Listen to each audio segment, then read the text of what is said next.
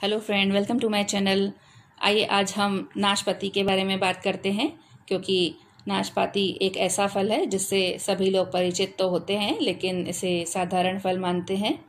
लेकिन इसमें इतने सारे औषधीय गुण होते हैं जो सीधे आपके स्वास्थ्य पर प्रभाव डालते हैं।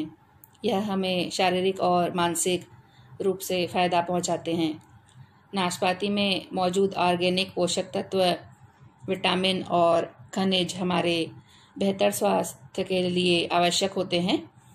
इसमें कुछ प्रभावकारी और सक्रिय घटक जैसे potassium, phenolic compound, folate, fibre, तांबा, manganese, vitamin C, vitamin K, vitamin B complex, antioxidant फिटेनियोटेटेंस flavonoids के साथ फाइबर जैसे कई पोषक तत्व पाए जाते हैं।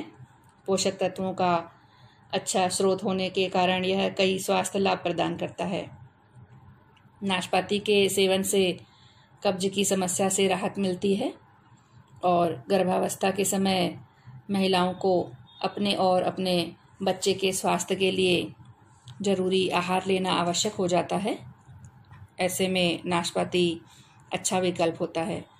गर्भावस्था के समय नाशपाती का नियमित सेवन करने से स्तनपान के समय आने वाली परेशानियों से बचा जा सकता है। इसमें कई ऐसे पोषक तत्व हैं जो बच्चों के समग्र विकास के लिए आवश्यक है, जो माँ और बच्चे दोनों को ऊर्जा उपलब्ध कराते हैं। साथ ही नाशपाती के फ़ायदे वज़न कम करने में भी मदद करते हैं और कोलेस्ट्रॉल, हृदय रोग, मधुमेह, कैंसर और मोटापे, सूजन आदि में से संबंधित खतरों को कम करने में सक्षम है और नाशपाती उन व्यक्तियों के लिए लाभकारी फल है जो पथरी के रोग से पीड़ित हैं। गुर्दे की पथरी के लिए नाशपाती का उपयोग कर सकते हैं क्योंकि इसमें ऑक्सलेट की मात्रा बहुत कम होती है। दैनिक आधार पर नाशपाती का सेवन नियमित रूप से करने से यह आंतों के मूवमेंट को बनाए रखता है। और नाशपाती में आयोडीन की प्रचुर मात्रा होती है, जो मरीजों को घेंघा बीमारी को कम करने में मदद करता है।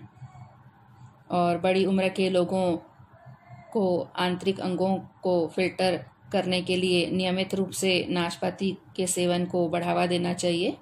यह कैल्शियम का स्टोर करने और रक्त वाहिकाओं को नरम करने में भी मदद करता है। यह अपच, गाउट एनीमिया कब्ज और कुपोषण जैसे रोगों से छुटकारा पाने में प्रभावी ढंग से मदद मिल सकती है इससे। नाशपाती के लाभ मुहासों के लिए भी है।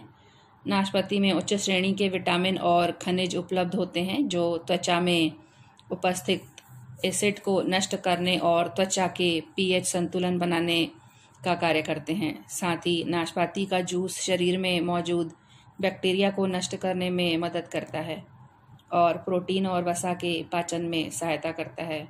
इससे शरीर का, को शुद्ध करने में मदद मिलती है और विषाक्त पदार्थों के निर्माण को रोकने में भी मदद मिलती है। यदि आपकी त्वचा तैलीय है और इससे छुटकारा चाहते हैं तो नाशपाती का उपयोग कर सकते हैं। आप एक पका हुआ नाशपाती को मसल कर उसमें आधा चम्मच, शहद और थोड़ी सी क्रीम मिलाकर मिश्रण तैयार करें और अपने चेहरे व गर्दन पर लगाकर 20 से 25 मिनट तक रहने दें। ये मिश्रण आपकी त्वचा में उपलब्ध तेल को अवशोषित कर बाहर निकालने में मदद करता है। साथ ही नाशपाती गले से संबंधित रोगों के उपचार के लिए भी अधिक उपयोगी होता है। ऐसे स्थिति में दिन में दो बार नाशपाती के जूस के साथ शहद का उपयोग कर सकते हैं। नाशपाती में ग्लूसीटोल नामक एक प्राकृतिक एल्कोहल पाया जाता है, जो बालों की जड़ों में जाकर बालों को मज़बूत करता है और बालों को स्वस्थ रखता है। इसके लिए एक पका हुआ नाशपाती, थोड़ा सा सेव का सिरका और दो बड़े चम्मच पानी मिलाकर अपने बालों में लगा सकते हैं। इससे बालों में नई चमक आ जाएगी। बहुत से लोगों को उनकी किसी बीमारी की वजह से कुछ फल खाने की मनाही होती है, लेकिन नाशपाती एक ऐसा फल है जिसे हर कोई खा सकता है।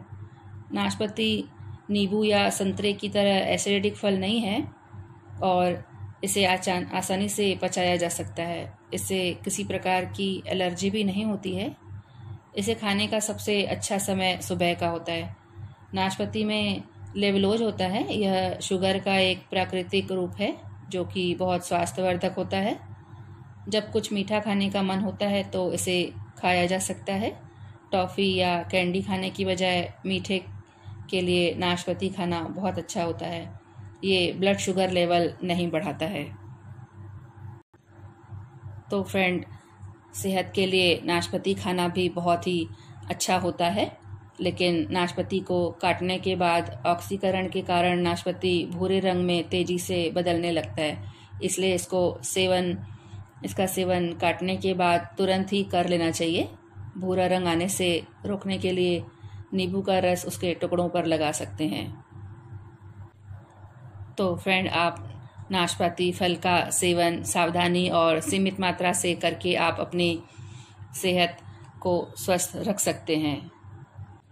नाशपाती के बारे में इतनी ही बातें और स्वास्थ्य से जुड़ी हुई बातें हम मेरे आने वाले वीडियो पे करेंगे। तब तक के लिए आप मेरे चैनल को लाइक, शेयर और सब्सक्राइब ज़रूर करें। साथ ही बेल आइकन को भी प्रेस करें।